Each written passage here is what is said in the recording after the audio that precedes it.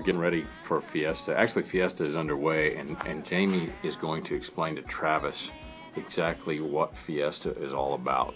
Look, I have got two cascarones. I don't think Travis has ever been hit over the head with a cascarone, so we are gonna do this. We're going to walk in his office and go for it. I don't know if he's gonna be mad or not. He's not gonna know what.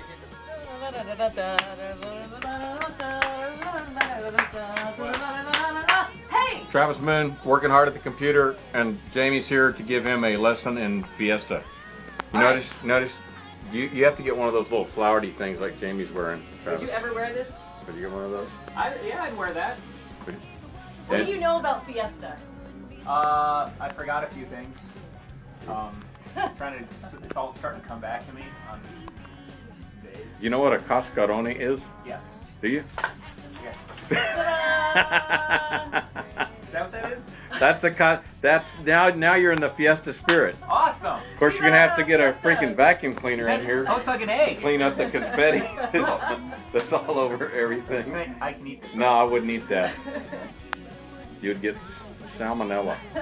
Okay. Where's the Where's the chicken at?